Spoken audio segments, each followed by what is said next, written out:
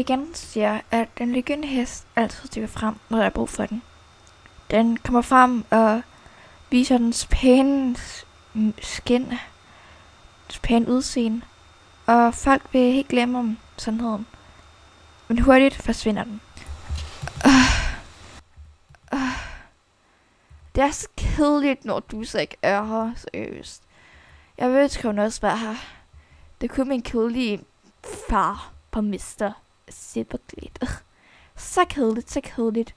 Men imens det vil gøre det, at jeg snart får en ny lille sød lille høst. Eller ret stor, faktisk. Jeg glæder mig bare til, at min, øh, min ansatte kommer hjem. Min tjenestefolk kommer hjem med den gyldne hest i armene. Åh, oh, det bliver så godt. Og så skal jeg til at ride på den. Åh, oh, jeg glæder mig så meget. Hey, Godfrey. Øhm, er du så hjemme lige nu? Jeg vil gerne snakke med hende. Mm, nej. Um, okay så. Åh, oh, hej. Hej, taber. Vi har altså også navne. Nå jo. Bianca og Anna. Vi skal til flytte i dag. Hvorhen? Den nye range. Altså Starshine Range. Altså den... Ja. Yeah. Uh. Nå, men jeg har, jeg har fået en ny hest i dag, eller jeg venter på den lige nu faktisk. Uh, eller jeg har ikke fået den, jeg, jeg har fanget den. Seriøst? Har du selv fanget den? Uh, nej, min folk er ansatte selvfølgelig. Men ja, jeg skal se den lige om lidt. De har fanget den, og det hele gik super fint med bedøvelse pil. Så ja, vi ses.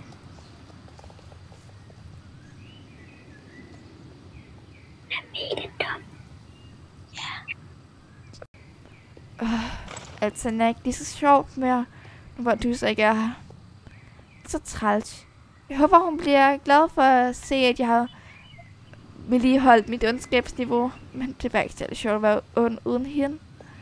Det er ikke sjovt at være en bitch at være en diva. Hvor hun ikke er der. Oh. Seriøst. Jeg håber, hun bliver glad for at vide, at jeg har dig. Ellers, hvad skal jeg så gøre? Åh, oh, det er så svært.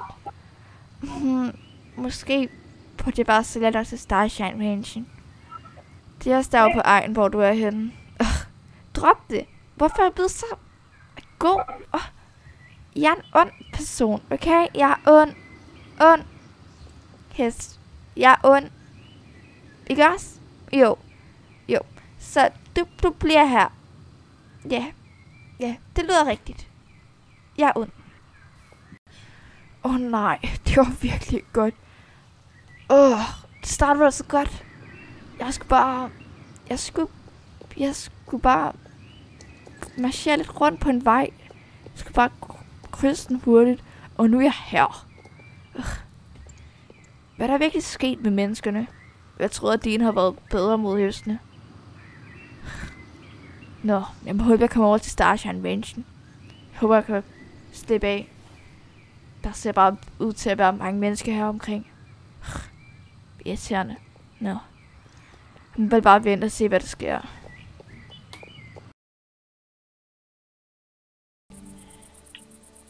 Hej, Lili. Åh, oh, Bianca. Hvor er det godt at se dig. Så lang tid siden. Øh, hvorfor ja. er du her? Jeg er flyttet herover. Oh, hvor er det godt at høre. Vi skulle have snakket noget mere sammen i hvert fald. Men ja, ja. jeg har stadigvæk selv pige, så ja. Ja. Lili, Lili, har du hørt, der er en hest, der blev fanget? Øh, nej. En vild hest, der er blevet fanget, var forfærdeligt. Givet, hvor den er henne? Den er herovre. Seriøst? den. Jo, hvordan skal vi befri den? Vi kan måske åbne døren. Den er låst. Jeg prøver. Okay. Den er låst. Oh, jeg så lad os prøve at klatre over. Det giver jo ikke nogen mening. Hvordan skal vi så få hesten over igen? Det ved jeg ikke. Oh, vi var nødt til at få en plan. Ja. Mm. Skal ja. vi ikke så prøve at nøglen? Jo, god idé. Men lad os finde ud af, hvem der ejer hesten. Alle sammen. vi går rundt og spørger menneskerne, okay? Åh, han vidste ikke noget. Hun vidste ikke noget. Det fortsætter så lang tid. Oh, Halløj. Øhm, det er fordi, at der er en, øh, der er en ny hesthavre øhm, øh, i en af fondene, alt muligt. Og jeg har hørt om den og sådan noget. Jeg vil bare gerne se den. Ved I noget om den? Eller sådan noget? Ja, den er mega pæn. Øh, ja. Øh, men ved jeg om, hvem, hvem har nøglen til øh, den bås der? Hvad skal du bruge nøglen til? Øhm, det er fordi, at det er hende, der ejer hesten. Hun kender jeg godt. Øhm, men jeg har ikke set hesten endnu. Det er lidt sjovt, ikke også? Ja, ja. Men det er fordi, at øhm, hesten, øh, sådan nøgle ting, blev væk, og nu leder vi efter reservenøglen, og vi ved ikke, hvem der har reservenøglen og sådan noget. Så ja. Øh, men ja, øh, det er derfor. Men ved I, ved I hvem der har den, den nøgle? Ejeren af stedet har næsten altid en reservenøgle. Og, øhm, okay. Øhm, øh, ses senere så. Ses. Lili, Lili, fandt du ud af noget? Øhm, ja, jeg fandt ud af noget. Øhm, øh, ejeren af det her sted har nok en reservenøgle til båsene. Men ja, jeg ved ikke, hvor ejeren er henne, så... Det er ved jeg, det ved jeg. Gør du? Hvor? Han er i morgen for at købe en hest. Skal vi så gå ind i hans hus og tage nøglen? Det bliver vi vist nødt til. Så Okay. ja, lad os... Lad os gøre det. Ja. Okay, planen er enkel, okay? Vi går ind i huset hurtigt og hurtigt ud, okay? I klar? Ja. 3, 2, 1. Afsted!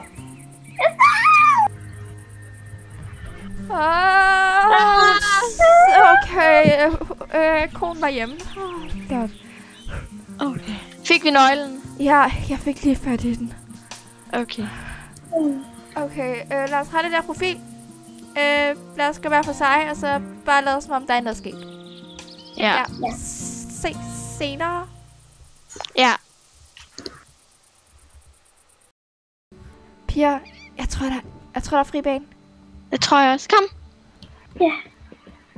Du har nøglen, Bianca. Åben. Ja. Sådan der.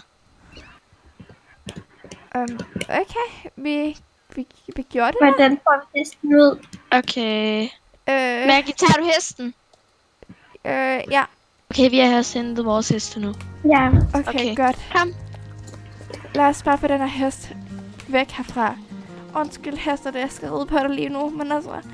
Ah, undskyld. Den der, som, det ser ud som, den ikke er vild. Nej. Men hvorfor kommer der glitter af den? What? Wow.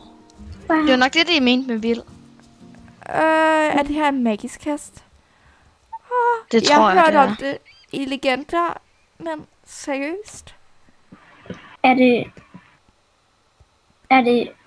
Er det... Den hest, Den gyldne hest. Fra legenden. Det ved som jeg ikke. redder... Som Men redder jeg rider på den. heste, som... Okay, lad os få den ned til vandet, og så... Ja. Var det majestætisk hest? Oh. Ja. Men hvis du kan ride på den, og det er en vild hest,